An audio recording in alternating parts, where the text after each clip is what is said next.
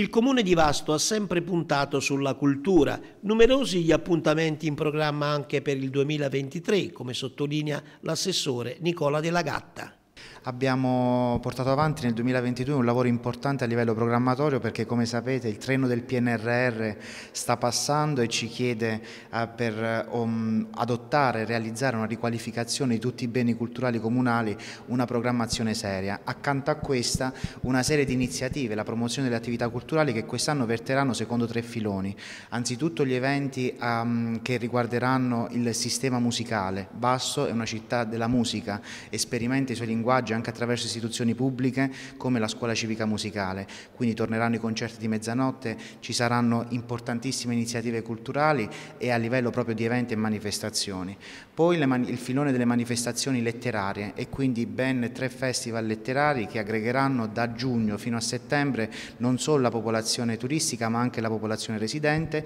e infine Palazzo d'Avalos che è la bomboniera e la cornice della nostra cultura che nelle sale del quarto della Marchesa restaurata restaurata in occasione del bicentenario paliziano del 2018, accoglierà ben quattro mostre nei locali che oggi stanno ospitando fino al 3 di maggio una mostra evento sul De Divina Proporzione e quindi incentrato sulla figura e le capacità eh, di, eh, del genio di Leonardo da Vinci. Una mostra che sta riscuotendo grandissimo successo, una mostra anche eh, volutamente didattica e quindi sta um, fa facilitando l'adesione di tantissimi istituti scolastici del territorio e della città.